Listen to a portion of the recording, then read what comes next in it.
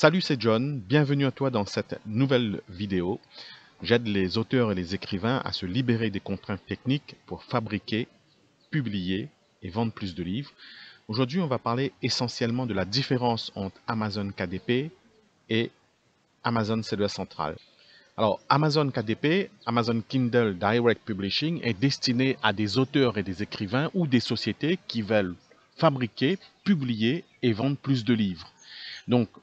Amazon KDP et Amazon Seller Central sont tous les deux deux services proposés par la société Amazon qui permettent de vendre des produits sur Amazon. Et nous allons voir juste la petite différence. Comme je vous l'ai expliqué ici, sur Amazon KDP, on publie uniquement des livres, donc livres brochés, reliés et e-book.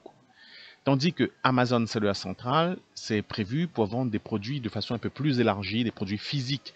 Donc ça concerne des vendeurs tiers qui veulent vendre sur les plateformes Amazon, mais pas uniquement des livres. Donc ça va être des, t-shirts, des vêtements, essentiellement des produits, etc. Vous avez plusieurs modes pour pouvoir vendre sur Amazon Seller Central. Vous pouvez envoyer vos produits directement dans un entrepôt Amazon ou vous pouvez l'expédier à partir de chez vous. C'est cette différence qu'on appelle Amazon FBM ou FBA. Donc expédié par le marchand ou expédié par Amazon. Concernant les auteurs, nous, on va principalement rester focus, focalisé sur Amazon KDP. C'est un service gratuit qui permet donc, comme je vous l'ai dit, d'envoyer son manuscrit, sa couverture sur une plateforme.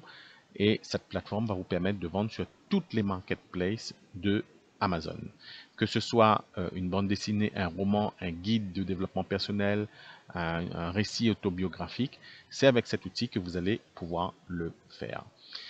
Vous avez sur notre chaîne différentes vidéos qui vont vous expliquer les différentes étapes pour pouvoir euh, fabriquer, publier et vendre plus de livres.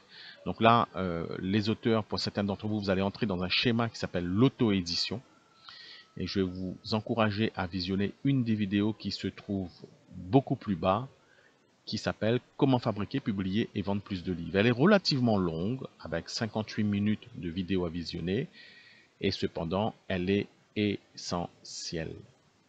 En complément de ces informations, je vous invite à devenir membre ici, voilà, de la plateforme du groupe qui s'appelle Accélération pour auteurs et écrivains, Pod Digital, Jonathan Lamarquise. Merci d'avoir été attentif à cette vidéo. Elle est relativement courte, mais vous permet de comprendre la différence entre les deux outils. Je vous dis à bientôt.